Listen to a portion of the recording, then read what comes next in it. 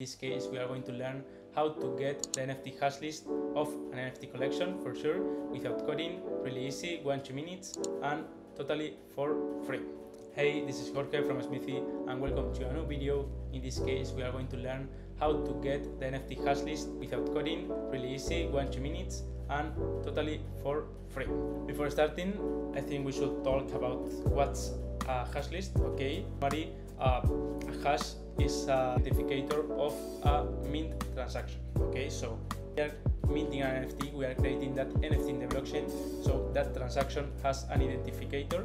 Okay, and that's a hash. In this case, a hash list, also we can call it mint list, is a list of that uh, of the identifiers of transaction of minting a whole NFT collection.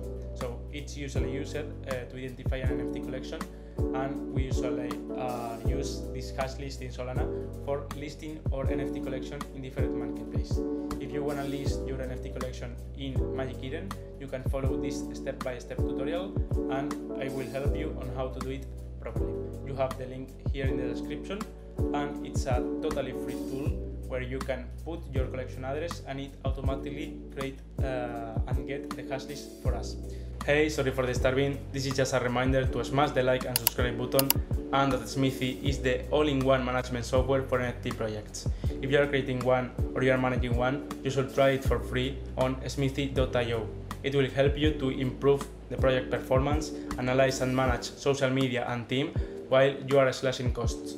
For starting, we need the collection address of our NFT collection. So um, we will open our wallet, go to the NFTs and we will select which NFT collection we want to get the, the hash list of. So I will select this NFT of the collection. You can use any NFT of that collection. Click here and click on View on SolScan. It will open here a new window with an overview of the NFT. Uh, you will see here. Let's wait a bit. As you can see, it opens a new window with all the information of our NFTs and NFT overview in SolScan uh, with all the information, but the important thing here is creators. We click here on the drop down, and the important creator address we are looking for is the first one, okay, with a 0% royalties. We can click on it, and it will open a new page.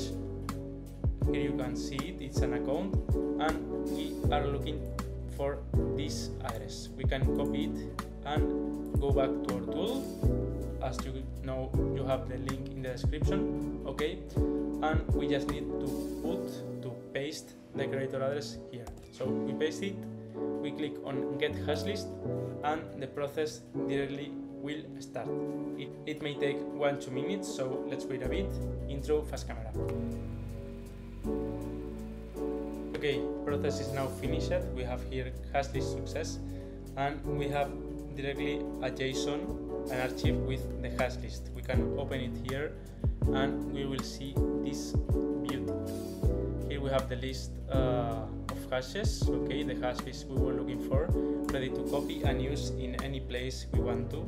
Probably in any marketplace you want to list your collection on. So, so that's all. Hope you like it. Thank you so much for watching and see you in the next video. Bye bye.